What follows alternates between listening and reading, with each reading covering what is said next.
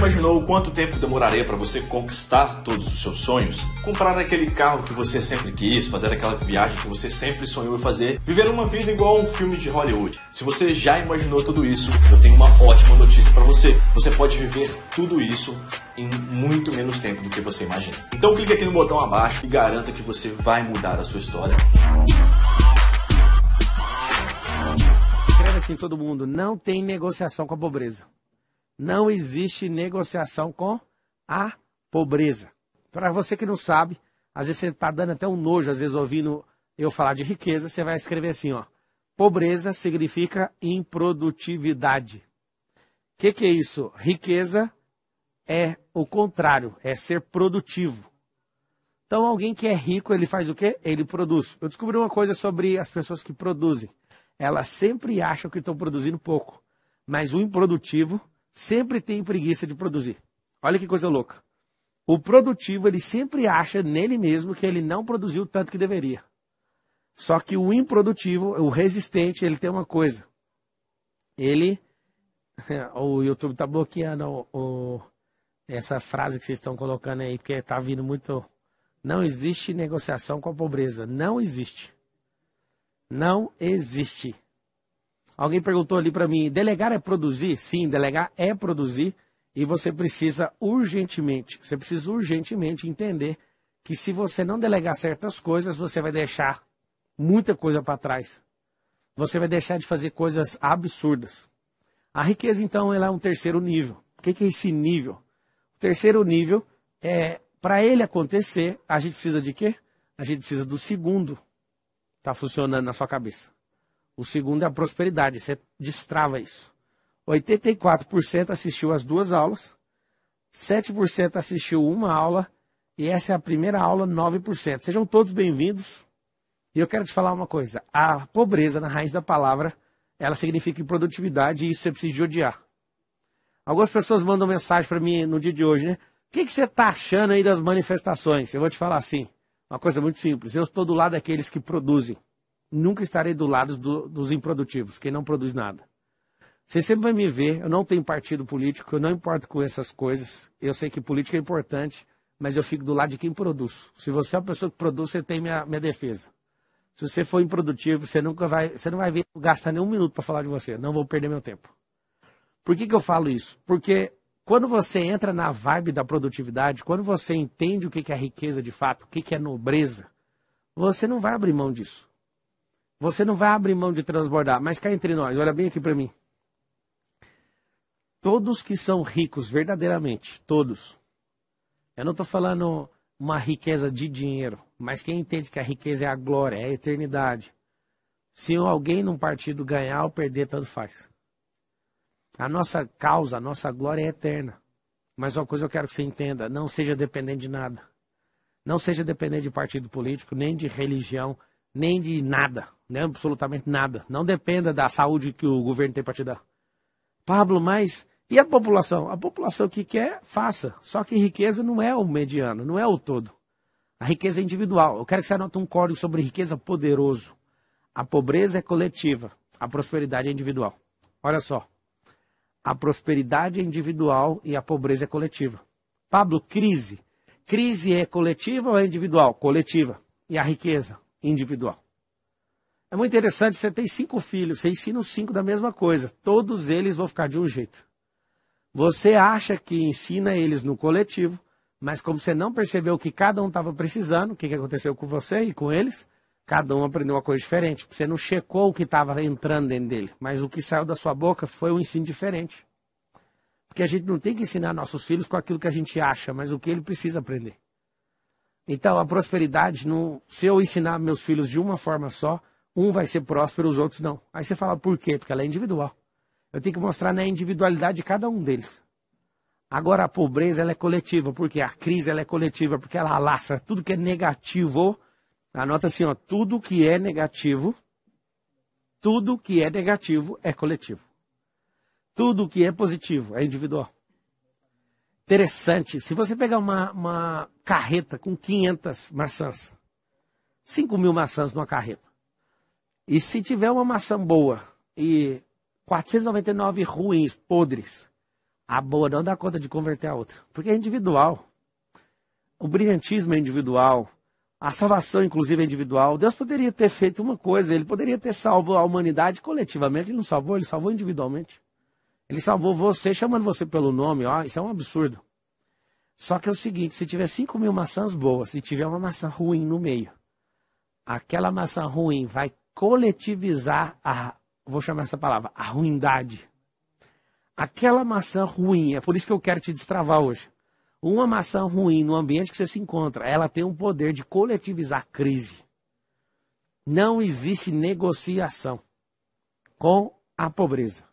Pobreza não é a pessoa. A pobreza é um estado de improdutividade, que fique claro. Então eu quero que você entenda. Você foi programado para ter medo de crise. E na crise, que é coletiva, você que fica com medo, você perdeu sua individualidade. Você fez o quê? você entrou na coletividade. Põe uma coisa no seu coração: coletividade não tem como prosperar. Não se prospera no coletivo, se prospera no individual. Aí alguém está falando, você está falando que eu tenho que ser individualista? Não, a prosperidade parte de cada um. Você, é um, você não é um produto de série. Você não é alguém raro. Eu amo quando alguém fala, você é raro. Não, você não é raro. Você é único. Raro é uma coisa que você encontra várias que ficam escondidas, tipo um diamante é raro. Só que você não. Não tem dois de você, você é único. Se você entender o que é individualidade, você vai dar tudo que você tem, porque a individualidade é um princípio. Individualidade está ligado com outro princípio que chama essência. E aí, quando você percebe que não é a formação que você teve dos seus pais que vai fazer você ficar rico, é você acessar a sua essência, colocá-la para fora, é isso que vai fazer isso. É isso que vai fazer você ter esse acesso. Então, qual que é o grande esforço de você entender aqui? Saia do coletivo. Eu quero que todo mundo escreva assim, ó eu vou sair hoje do coletivo. Hoje é o grito da independência. Hoje, se eu não conseguir me livrar, eu vou fugir. Tem que existir isso. Escravo não negocia.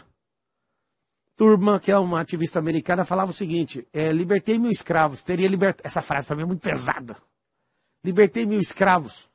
Teria libertado mais mil se eles soubessem que eram escravos. Você acredita que vários de vocês não entendem que são escravos de um sistema? são plenamente escravos de um sistema e que se você não gritar, se não sair, se não ecoar da eternidade, da sua alma, da sua mente, de dentro do seu coração, esse grito da eternidade, o que, que vai acontecer? Você não consegue se tornar livre. Independência nada mais é do que cuidar da sua vida. Independência nada mais é do que você ser livre. Livre, cuidar da sua vida e partir para quê? Para o transbordo. Se eu tivesse ensinando egoísmo para você, eu ia falar sobre individualismo. Eu não falei essa palavra.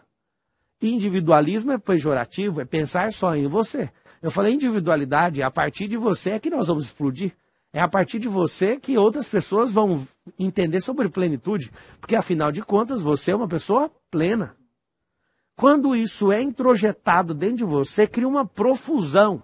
É algo explosivo, exuberante, algo magnífico. Aí você fala: Meu Deus, Sabe quando que eu comecei a perceber isso? Isso me fez enriquecer. Eu comecei a olhar o sangue de Jesus que morreu por mim. Eu pensei, esse sangue é valor, muito valioso. Mas a gente não dá algo valioso numa coisa que não vale. Por que, que Deus deu seu único filho para todo aquele que nele crê não pereça, mas tenha a vida eterna em Cristo Jesus? Porque alguém que ele está pagando vale, vale esse preço. Tem esse valor que é, que é maior do que o preço. Se fosse preço, o outro pagaria, mas como ninguém conseguiu pagar, teve que acessar o valor. Anota a diferença de preço e valor aí. Preço é o que se paga, valor é o que se leva. O preço eu coloco em coisas, valor eu coloco em relacionamentos. Então, quando uma pessoa não enxerga o valor próprio, não enxerga o valor da outra pessoa com a qual ela se comunica, com a qual ela se conecta, ela não é digna de levar aquilo. Eu amo quando uma pessoa eu amo quando uma pessoa ela me despreza, porque no meu coração eu sei, essa pessoa não faz parte disso que eu estou ensinando. Eu amo quando uma pessoa se levanta contra mim, porque eu sei que ela não faz parte da mesma mesa. É simples. Agora, você anotou sobre preço e valor, quero te ensinar algo. Anota assim, ó. Nunca conte o preço antes de mostrar o valor. Pablo, o que significa isso? Vocês foram doutrinados com preço. E quem, tem, quem vive na teoria do preço, debaixo da opressão do preço, tem que viver uma vida de olhar a concorrência. Confesso para vocês, talvez seja um pecado mercadológico. Eu não estou nem aí para o que os outros estão fazendo. Algumas pessoas falam, quem que é seu concorrente? O diabo não é meu concorrente, porque ele não tem altura comigo. Fulano que ensina finanças não é meu concorrente, porque ninguém fala a linguagem que eu falo. Alguém de inteligência emocional não tem, porque tem coisa que Deus colocou só dentro de mim, não colocou em mais ninguém. O ciclano que fala de família, não tô nem aí. Alguns são amigos, outros não. Tanto fez, tanto faz. Eu não fico absolutamente. Nesses últimos sete anos, eu não importei com o que os outros estavam fazendo. E não vou importar. Porque o que Deus coloca no seu coração não faz você concorrente de outra pessoa. Eu quero que você entenda isso. Se existem concorrentes, o concorrente do Pablo Marçal chama Pablo Marçal. O Pablo Marçal é eterno contra o Pablo Marçal terrestre. É a única concorrência que eu tenho. E ela só é ativada quando o Pablo Marçal da eternidade não governa sobre o Pablo da, da, da física, do mundo físico. E eu quero que você escreva isso. Só existe um concorrente na minha vida e sou eu mesmo. Só existe um concorrente na minha vida e sou quem? Eu mesmo. Como destruir esse concorrente? Coloque ele para trabalhar para você. Eu vou te dar uma teoria poderosa para você, para minha prática. Anota assim, ó, a melhor forma de quebrar a concorrência, põe ela para trabalhar para você. A melhor forma de quebrar a concorrência é fazer a concorrência trabalhar para quem? Para você. E é nessa hora que você percebe o que, que precisa ser feito. Para de olhar para os lábios. Para de olhar para as pessoas que estão em volta e que ficam o tempo inteiro, o tempo inteiro, o tempo inteiro, falando o que você tem que fazer. Eu adorava quando alguém falava, sabe o que você tem que fazer para isso aqui virar não sei o quê? Não, não quero saber não. Muitas vezes fui taxado de ignorante. Engraçado que hoje muita gente me chama de gênio. Mas no fundo, no fundo, ela ainda me acha ignorante. Sabe por quê? Porque eu não sigo seus padrões. Eu não sigo os padrões desse mundo. Eu não sigo os padrões que as pessoas ficam fingindo que são eternos. Eu vou direto na fonte e descubro aquilo que faz sentido.